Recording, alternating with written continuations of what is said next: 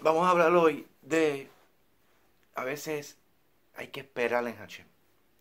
Estamos pidiéndole algo a Hashem, pero no perdemos el control, nos desesperamos y por nuestra propia fuerza queremos conseguir eso que le estamos pidiendo a Hashem.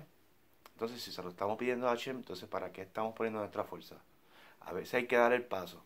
Pero hay cosas que Hashem es el único que nos las puede dar. Voy a dar un ejemplo.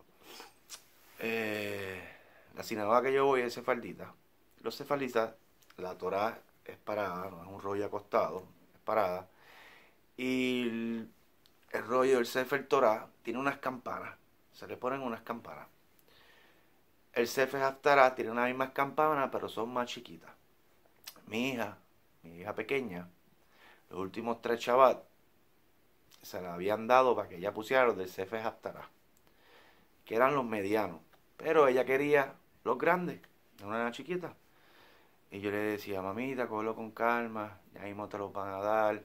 Pero por casualidad, Hashem lo controla todo. Tres chavas corridos siempre le tocaban los pequeños. Y ella siempre lloraba y decía, no te preocupes, mamita, pon los pequeños, ya mismo te van a dar los grandes.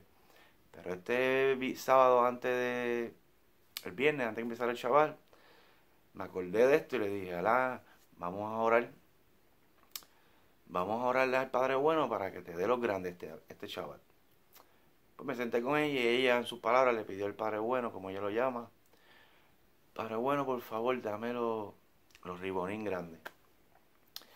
Pues, este chaval, cuando sacaron las toradas, pasaron la Torah para que antes que la pasaran iban a darle a los repartieron los ribonín que son las campanas que se le ponen a los rollos de Torah cefalditas yo como padre para que ella no llorara quería conseguir los grandes.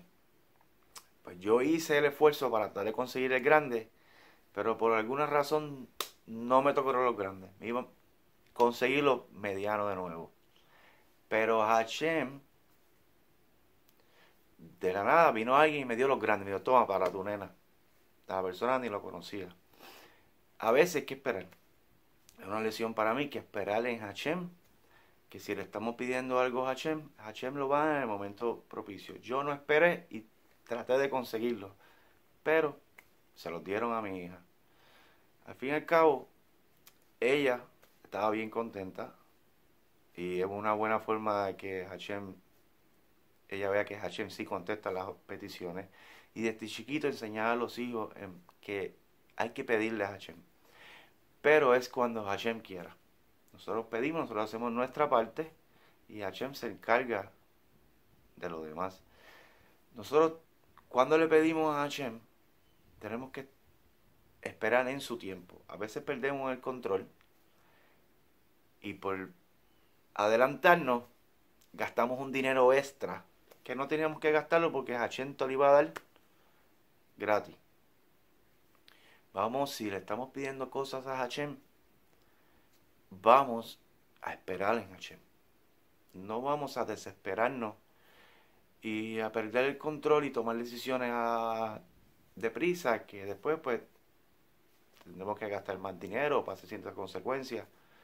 Vamos a hablar con Hashem y esperar en Hashem. No trates de brincar la cadena o de dar ese paso adelantado pensando que tú tienes el control de las cosas. Si nos estamos poniendo en manos de Hashem, entonces vamos a esperar en Hashem. Asaku Baruch.